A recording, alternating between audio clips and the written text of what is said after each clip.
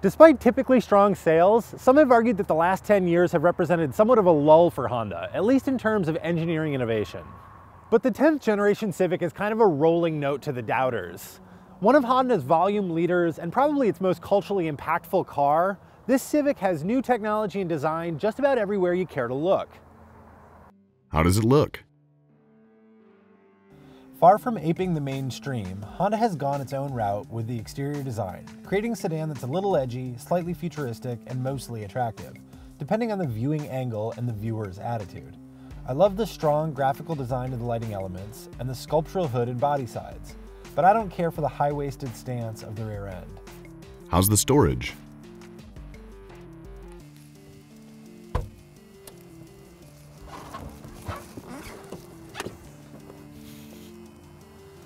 So the Civic trunk is actually near the top of its class in terms of cargo volume, and it's got a remarkably flat load floor that's also pretty comfortable.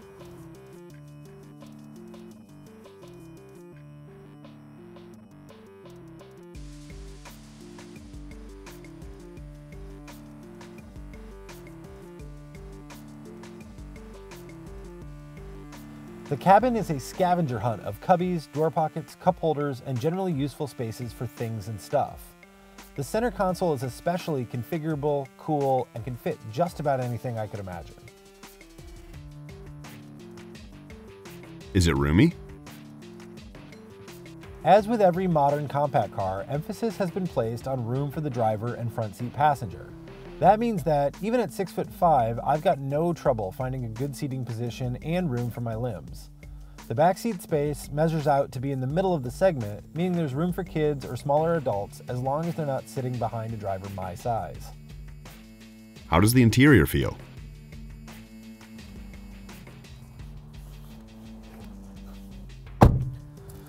Now, especially in this top touring trim, with its leather seats and leather surfaces, everything in here feels really solid.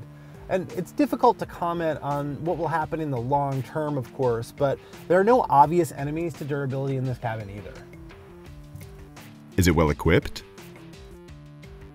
Again, this is the top of the line Civic, so there are bells and whistles aplenty. Specifically, this trim level adds a 450 watt 10 speaker stereo and leather seats that are heated front and rear. Critically, it also gets the Honda Sensing suite of safety tech, active cruise control, lane keep assist, lane mitigation warning, forward collision mitigation, and other electronics are designed to keep you safe if you or the people around you are driving badly. How's the infotainment system? This is the company's new display audio system with a 7-inch touchscreen, and I think it's better in just about every way than the dual screen system you'll find in cars like the Accord. It offers access to Apple CarPlay and Android Auto and has pretty simple to use software baked in. I still don't like the finicky volume control on the head unit, but the hybrid rocker switch touch control system on the steering wheel is actually pretty responsive. Is it a good daily driver? One of the things that you're likely to notice when you get behind the wheel of the Civic is that, first of all, it's pretty quiet for a compact car. It's really good relative to the class. Also, the suspension has been very well sorted. It's smooth, the ride quality is good, and overall it just makes for a very comfortable cruiser. The other thing that's nice about the 1.5T equipped cars is that you've got plenty of power for merging on the highway, making passing maneuvers, and all of the sort of regular stuff that you're doing when you're commuting a lot.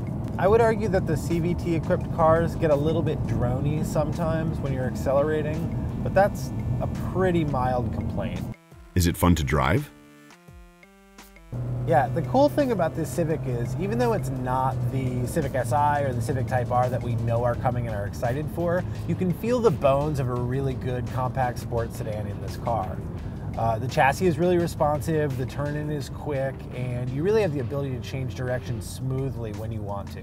The other great thing about this package is the 1.5 liter turbocharged engine. Now, don't get me wrong, I love the 2 liter naturally aspirated engine that come in the more basic versions of the Civic. I think that it's revvy and it's fun to drive and it sounds pretty good. But the turbo torque is easy to get used to and its responsiveness allows you to have a lot of fun when you decide that you need to. How's the fuel economy? Match the 1.5 liter turbo engine with Honda CVT transmission and you get impressive results. This Civic is rated to get 42 miles per gallon on the highway and 31 in the city. Considering all the power, the only problem with that setup is driving with enough restraint to see those EPA numbers in real life. How much is it? Every compact car on sale in the US is competitively priced. This is a cutthroat space. But the Civic range tends to command a small premium at every trim level, with the base car starting at $18,640, the Touring S 26,500, and our test car has an MSRP of $27,335. Go ahead, insert your car I'd rather have for almost $30,000 complaint here. We'll look the other way. What are the negatives?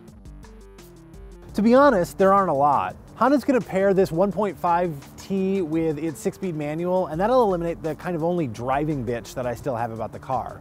Beyond that, the only negative is the price premium, which has the potential to be a slightly larger premium when dealer incentives are figured in down the road. Who should buy it? I won't say this often in Why Buy videos, but I think the Civic sedan is good for most drivers that I can think of. It's fun to drive, it's easy to drive, it's practical, and it stands up really well against the competition. If you're looking for a normal sedan, you can't do much better than this.